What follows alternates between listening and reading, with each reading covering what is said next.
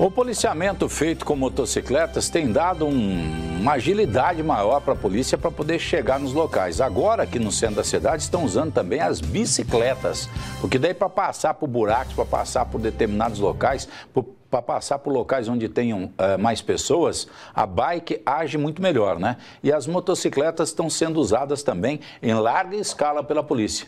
E vira e mexe, tem broncas sendo desvendadas. Um mocó um ponto de tráfico de drogas foi descoberto pelos policiais. Eles chegaram rapidamente no local, não deu nem tempo dos caras apagarem o cachimbo. Eles estavam em três caboclos lá, fumando a droga na hora que os policiais chegaram. Cana, além do que eles estavam fumando, tinha mais coisa lá dentro, viu? O Antônio Euclides Sapia, conjunto Alexandre Urbanas e três pessoas que foram abordadas pela equipe de motos da Polícia Militar. Com eles foram encontrados drogas e dinheiro trocado. Capitão Castro, como é que foi essa ação? Nossas equipes de rádio patrulhamento motos têm sido uma arma, uma ferramenta muito eficiente e eficaz contra os traficantes.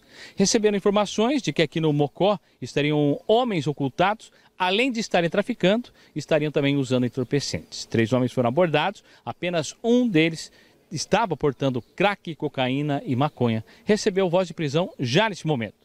Enquanto realizavam a abordagem, chegou a informação de que o esconderijo dos entorpecentes desse homem se daria ali na mata, aqui nas proximidades. Pediram apoio do choque canil, fizeram as buscas e acabaram encontrando o esconderijo de crack 100 porções de pedras desse entorpecente foram encontrados. Graças ao apoio do canil, o cachorro acabou encontrando então toda essa droga. Este homem recebeu voz de prisão e foi conduzido à delegacia. Os outros dois homens entraram no boletim de ocorrência como sendo aí, né, testemunhas desta abordagem policial.